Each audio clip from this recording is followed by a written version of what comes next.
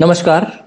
કાર્યશાળા વતી આપ સૌનું ઓનલાઈન વ્યાખ્યાનમાળા મંથનના છઠ્ઠા એપિસોડમાં સ્વાગત છે. આજે આપણા આ કાર્યક્રમમાં આપણી સાથે જોડાયેલ છે રાજકોટના મનોચિકિત્સક ડોક્ટર કમલેશ પટેલ સાહેબ. એમનું પણ હું સ્વાગત કરું છું. ડોક્ટર પટેલ સાહેબે ડોક્ટરની સ્નાતક પદવી ઓગણીસો ત્રાણુંમાં અને અનુસ્નાતક પદવી મનોચિકિત્સક તરીકે ઓગણીસો છન્નુંમાં ગવર્મેન્ટ મેડિકલ કોલેજ વડોદરાથી પ્રાપ્ત કરેલ છે. ડોક્ટર પટેલ સાહેબ હાલ રાજકોટ ખાતે પોતાના clinic Jivanganga hospital for mental health ખાતે મનોચિકિત્સક તરીકે પ્રેક્ટિસ કરે છે તથા તેઓ પ્રોફેસર અને મનોચિકિત્સક વિભાગના વડા તરીકે શિયુષા મેડિકલ કોલેજ, સુરેન્દ્રનગર ખાતે સેવા આપે છે. તેઓએ ગુજરાત રાજ્યના ઇન્ડિયન સાયકેટ્રિક સોસાયટીમાં પ્રેસિડેન્ટ, સેક્રેટરી અને ટ્રેઝરર તરીકે ઉમદા સેવાઓ આપેલ છે. આજે આપણી સાથે વાત કરવા માટે આવા ઉમદા અને શ્રેષ્ઠ મનોચિકિત્સક જોડાયા છે, જે આપણા સૌનું અહોભાગ્ય છે. તો ચાલો આપણે સૌ તેમના આજના વિષય, લોકડાઉન અને કોવિડ નાઇન્ટીનની લોકો ઉપરની માનસિક અસરો અને નિરાકરણ વિશે જાણીએ અને માણીએ. આપ સૌ વતી ડોક્ટર પટેલ સાહેબને તેમના વિષય ઉપર બોલવા માટે નિમંત્રિત કરું છું. ડોક્ટર કમલેશ પટેલ સાહેબ, રાજકોટથી.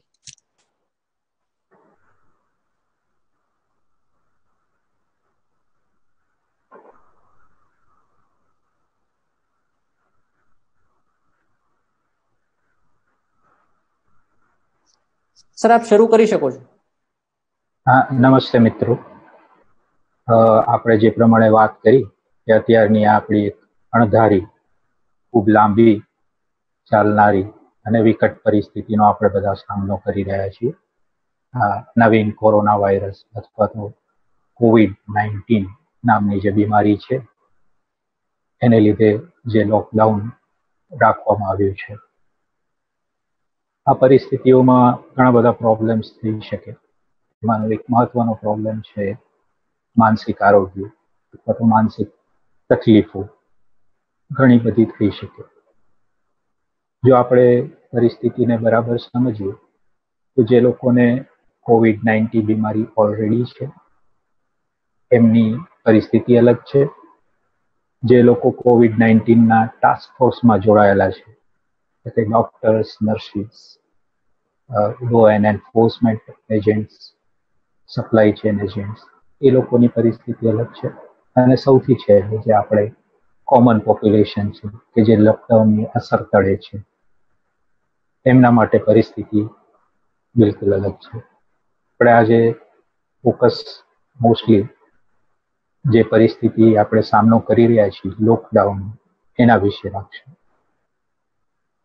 કારણ કે જે લોકોને કોવિડ નાઇન્ટીન છે અને જે લોકો કોવિડ નાઇન્ટીનની ફ્રન્ટલાઇનમાં છે, એ લોકો માટે પરિસ્થિતિ અલગ છે અને એમના સાયકોલોજીકલ પ્રોબ્લેમ પણ અલગ છે. સૌથી પહેલા આપણે વાત કરીએ તો જે કોમન તકલીફ અમારી સામે આવે છે લોકડાઉનને લીધે અથવા તો કોવિડ નાઇન્ટીનને લીધે, એ ઇલનેસ ફોબિયા એટલે ઇલનેસ એન્ઝાઇટી ડિસઓર્ડર ઘણા બધા દર્દીઓને એવો ફોબિયા થઈ જાય છે કે મને કોવિડ થઈ મને કોરોના વાયરસનો ચેપ લાગી ગયો છે. અને એને લીધે વારંવાર કન્સલ્ટન્ટ પાસે જતા હોય છે. ટેસ્ટ માટે રિક્વેસ્ટ કરતા હોય છે. એ લોકોને ખૂબ જ એન્ઝાયટી થતી હોય છે. રાત્રે ઊંઘ નાવામાં તકલીફ પડે, ડર લાગે, સતત એક ભય લાગ્યા કરે. અને સતત એને એવા વિચાર આવ્યા કરશે કે હવે આગળ શું આ એક કોમન પરિસ્થિતિ અમે અત્યારે ફેસ કરી રહ્યા છીએ. બીજી જે કોમન પ્રોબ્લેમ અમારી સામે આવતો જાય છે, તે છે જે વ્યસનના કારણે આવે છે. મોટાભાગના આપણા વિસ્તારમાં જે બીડી, તમાકુ અને માવાના વ્યસન છે એમને વસ્તુઓ નહીં મળવાને લીધે ઘણી બધી તકલીફો ઊભી થાય છે. જેને આલ્કોહોલ અને અફીણની તકલીફ છે, એને તો આ પરિસ્થિતિ વધારે પડતી જોખમકારક થઈ ગઈ છે અને એ લોકોને મેડિકલ સારવાર પણ જવી પડે છે. આથી વધારેમાં ઘણા લોકોને ઉદાસીની બીમારી થઈ શકે એન્ઝાઇટી એટલે ચિંતાનો રોગ થઈ શકે છે. ખાસ કરીને જે લોકોને પહેલેથી કોઈક માનસિક બીમારી છે, જે લોકો પહેલેથી જ કોઈક માનસિક બીમારીની દવા લઈ રહ્યા છે, એમના માટે પરિસ્થિતિ વધારે ને વધારે પ્રતિકૂળ થઈ જાય છે. કારણ કે એ લોકોને એક આ લોકડાઉન એઝ સચ સ્ટ્રેસ જેવું લાગે છે. કોઈ પણ સ્ટ્રેસને લીધે માનસિક બીમારીમાં વધારો થઈ શકે. એમ આ સ્ટ્રેસને લીધે પણ એની માનસિક બીમારીમાં તકલીફ થઈ શકે. ઘણી વખત એ જે દવાઓ લેતા હોય છે, એ દવાઓ એને ટાઈમસર ન મળી શકે. એને લીધે પણ પ્રોબ્લેમ જો હવે આપણે કોમન વાત કરીએ કે આ બધી પરિસ્થિતિઓ તો ઠીક છે, પણ શું કરવાથી માનસિક તકલીફો વધી શકે? અને શું કરવાથી આ માનસિક તકલીફમાં આપણને રાહત મળી શકે? અને અલ્ટિમેટલી આપણે શું કરવું જોઈએ? તો જે મોસ્ટ કોમન પ્રોબ્લેમ છે, કે જેને લીધે આ તકલીફો વધી રહી છે, એ ઇન્ફોર્મેશન ઓવરલોડ આપણી પાસે કોવિડ નાઇન્ટીન વિશે એટલી બધી જાણકારીઓ ભેગી થઈ ગઈ છે. લગભગ કોઈ પણ મીડિયા ખોલો, કોઈ પણ પ્રિન્ટ મીડિયા ખોલો સોશિયલ મીડિયા ખોલો, તમને સતતપણે એક ટાઈપની બોમ્બાર્ડિંગની જેમ કોવિડ નાઇન્ટીનના આંકડાઓ, તેની પરિસ્થિતિઓ સતતપણે આપણા ઉપર બોમ્બાર્ડિંગ થયા કરતી છે. અને એવી વ્યક્તિઓ કે જે સતતપણે આ વસ્તુની ઉપર ધ્યાન કેન્દ્રિત કર્યા કરે, આના વિશે જ માહિતી મેળવ્યા કરે, એવી વ્યક્તિઓને માનસિક તકલીફ અથવા તો માનસિક તણાવ ઊભી થવાની શક્યતા ખૂબ વધી જાય છે. તો સૌથી પહેલાં તો હું એવું કહીશ કે ભાઈ, તમારી પાસે માહિતી હોવી જરૂરી છે.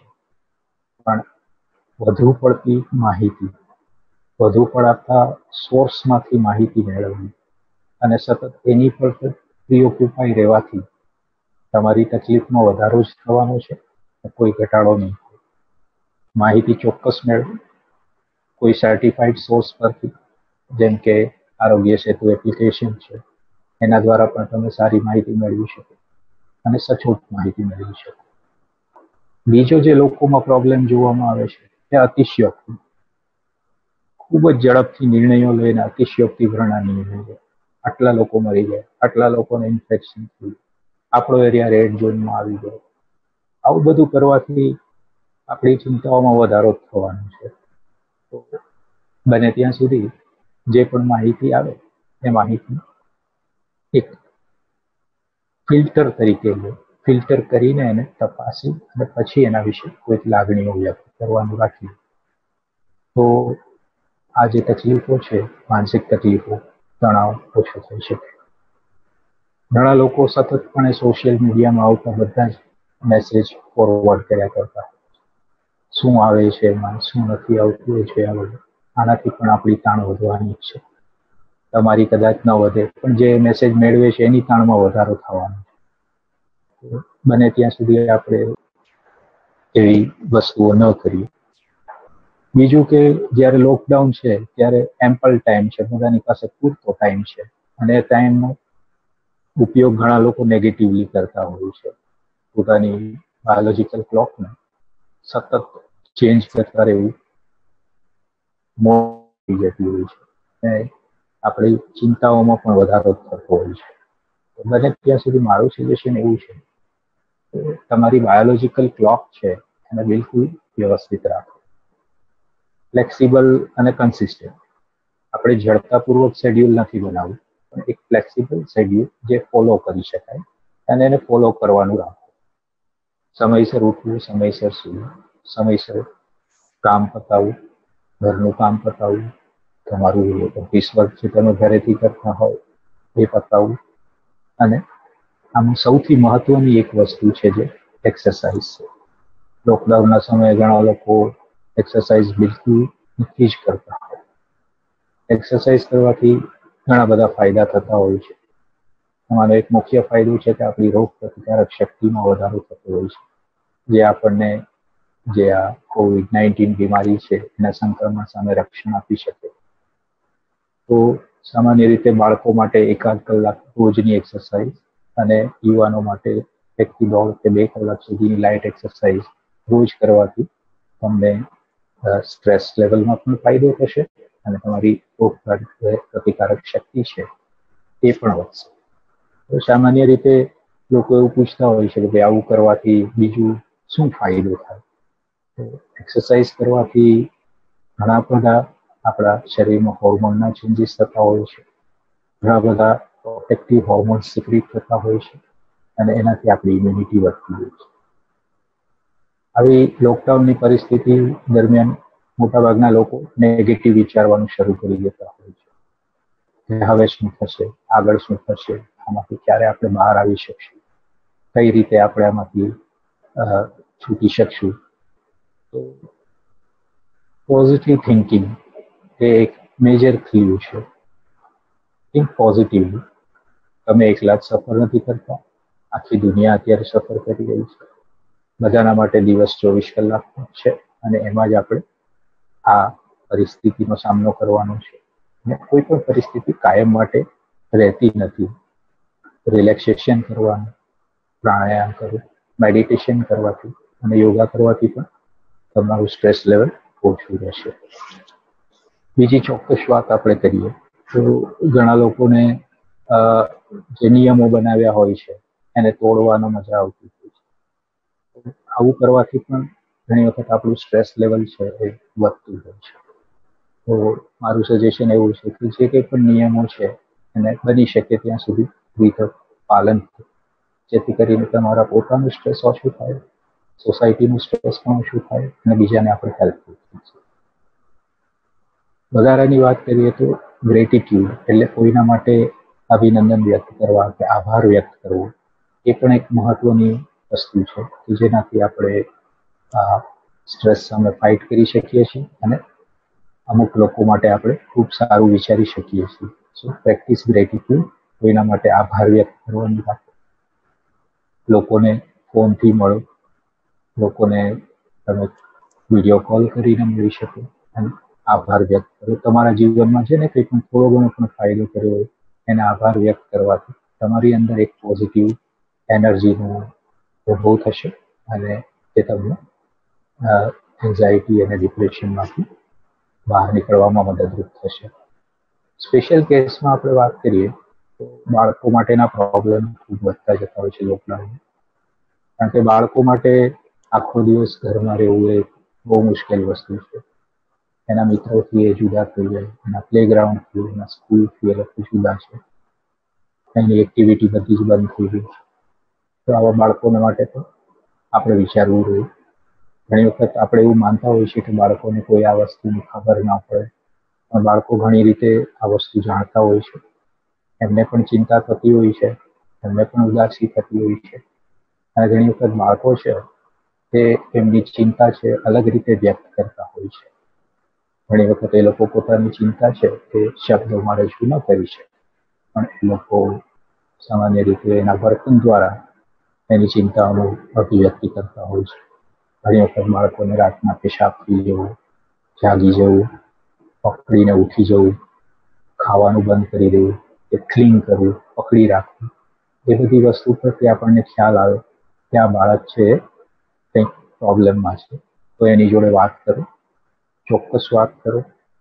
એને વાત કરવાનો સમય આપો, વાત કરવા માટેનું વાતાવરણ ઊભું કરો. ઘણી વખત બાળકો પોતાની વાત સીધી રીતે નથી કરતા હોતા. એમને વાર્તા કરવાનું કહો, એમને પોસ્ટર બનાવવાનું કહો, કે જેથી કરીને એ પોતાની વાતની રજૂઆત કરી શકે. અને બાળકો જે રજૂઆત કરે, એને તમે ચોક્કસ માહિતી સાથે પૂરી એનાથી ગભરાવો તમને ખબર છે કે કોવિડના આટલા કેસ થયા છે, બાળકોથી છુપાવો પણ સાથે સાથે એની પોઝિટિવ વસ્તુ પણ ભાઈ, આટલા લોકો રિકવર પણ થઈ ગયા છે. બીજું કે ઘણી વખત આવા સમયે બાળકોનું વર્તન જ્યારે ખૂબ ચંચળ થઈ જાય, કારણ કે એની માટે એક્ટિવિટીની જગ્યા ઓછી થઈ જતી તો લોકો ક્રિટિસાઇઝ કરતા હોય છે એની બિહેવિયર અને એમને સાંભળવાનું બંધ કરતા હોય છે. તો બાળકોને ક્રિટિસાઇઝ નહીં કરે. એને સાંભળો અને બીજી પ્રવૃત્તિમાં પણ ભાગ લેવાનો છે. ઘણી વખત અમુક પેરેન્ટ્સને એવી કમ્પ્લેન છે કે બાળકો મોબાઈલ અને ટીવી જ જોયા કરે છે. તો આ સમયે ટીવી મોબાઈલ અને સોશિયલ મીડિયાનો ઉપયોગ વધુ એ સામાન્ય ઘટના છે. કારણ કે લોકો ફ્રી છે. જો એમાંથી બહાર નીકળવું હોય તો એના માટે પ્રવૃત્તિ આપણે ઊભી કરવી પડે. બાળકોને પોસ્ટર બનાવવાનું કહી શકે બાળકોની જોડે મ્યુઝિક કરે વાંચી શકો, તમે મ્યુઝિક કરી શકો, ગીત ગાઈ શકો. અને એમને ઘરના કામમાં પણ ઇન્વોલ્વ કરો, જેથી કરીને તમારી જોડે એટેચ અને આ સોશિયલ મીડિયા અને ગેજેટ્સથી પણ થોડો દૂર થઈ શકે બાળક. બીજું જે પોપ્યુલેશન છે, એ ઓલ્ડ એજ પોપ્યુલેશન છે, કે જેમને સપોર્ટ સિસ્ટમ બહુ પુઅર હોય છે. કે જેમના માટે ઘણી બધી તકલીફો શારીરિક પણ હોય છે અને એને એકલતા વધારે લાગતી હોય છે. અને વડીલ લોકો છે એ વધારે પડતા ઉદાસીમાં જતા રહેતા હોય છે. તો આ સમયે તમે વડીલોનું પણ પૂરતું ધ્યાન રાખો. વડીલોને તમે અવગણો નહીં, એમની જોડે પણ વાતચીત કરો. સમય આપો, એમને પણ સમજાવો કે આ તકલીફ શું છે. તેમની જે કંઈ નાની મોટી જરૂરિયાતો હોય, એના પર પણ ધ્યાન આપો. કોઈ એકલા વડીલ રહેતા હોય, તો એને મદદ કરવાથી પણ તમને પણ ફાયદો થશે. અને એમને પણ ફાયદો થશે. આ બધી વસ્તુઓ સાથે એક ખાસ વસ્તુ જે હમણાં વધારે જોવા મળી રહી છે ડોમેસ્ટિક વાયલન્સ જે પણ એક પ્રકારની માનસિક તકલીફ તરીકે આપણે લઈ શકીએ, તો એમાં સામાજિક પાર્ટ ઘણો બધો છે. પણ આવા તબક્કે ડોમેસ્ટિક વાયોલન્સને આપણે સંયમ વાતચીતના માધ્યમથી અને જરૂર પડે તો જે કંઈ પ્રશાસનિક સુવિધાઓ છે, તેનો લાભ લઈને આપણે ઓછી કરી શકીએ. આ સિવાય હું કન્ફ્યુઝનમાં તો એવું કહીશ કે આ તબક્કો જે છે એ તમે પોઝિટિવલી યુઝ કરો. જે લોકોને વ્યસન છે, એના માટે આ એક ખૂબ પોઝિટિવ વસ્તુ છે કે વ્યસન છોડવા માટેની જે તમારી વર્ષો જૂની ઈચ્છાઓ હતી, એ અત્યારે પૂરી થઈ રહી છે. મહેરબાની કરીને જો તમારું વ્યસન છૂટી ગયું હોય, તો ફરી ચાલુ કરવાની કોશિશ ન કરો અને એને પોઝિટિવલી આ પીરિયડનો એક પોઝિટિવ ઉપયોગ કરો. બીજું, એક સ્વિસ સાયકોલોજીસ્ટ છે, એણે એવું કહ્યું હતું કે ભાઈ, જ્યારે વ્યક્તિ કોઈ ગ્રીફમાંથી કે કોઈ લાંબી બીમારીમાં હોય કે મૃત્યુ સૈયા ઉપર હોય કે કોઈ એના ઘરમાં મૃત્યુ પામ્યું હોય એ પછી જુદા જુદા સ્ટેજમાંથી પાસ થતું હોય છે. જેમાં પહેલું સ્ટેજ ડિનાઇલ એટલે કે નકાર કરવો, પરિસ્થિતિને ન સ્વીકારવું. બીજા સ્ટેજમાં ગુસ્સો આવવો, એટલે કે પરિસ્થિતિ સામે ગુસ્સો કરવો. કે મને જ શું કામ થયું? આમ તેમ. પછી બાર્ગેનિંગનું સ્ટેજ આવે, કે જેમાં વ્યક્તિ છે મેં આમ કર્યું હોત તો આમ થાત, આમ કરીશ તો આમ થશે. એના રસ્તાઓ શોધવાની કોશિશ કરે. પછી ડિપ્રેશનનું સ્ટેજ આવે અને છેલ્લે એક્સેપ્ટન્સનું સ્ટેજ આવે. અને આ એક્સેપ્ટન્સના સ્ટેજમાં સામાન્ય રીતે એક પોઝિટિવ ચેન્જ વ્યક્તિમાં આવતો હોય છે. પરિસ્થિતિનો સારી રીતે અને પોઝિટિવલી સ્વીકાર કરવાની એમાં ભાવનાઓ ઊભી થતી હોય છે. તો આપણે બધા પણ આ પરિસ્થિતિને પોઝિટિવલી લઈ અને એક નવા આઈડિયા સાથે બહાર આવીએ. એક ન્યૂ નોર્મલ અને નવું નોર્મલ તરીકે આપણે આપણામાં જે ચેન્જ લઈ આવવાનો છે એને આપણે બૌદ્ધિક રીતે અને લાગણીઓની રીતે પણ આપણા જીવનમાં ઇન્ટિગ્રેટ કરીએ મારે આજે આટલું જ કહેવાનું છે. નમસ્તે.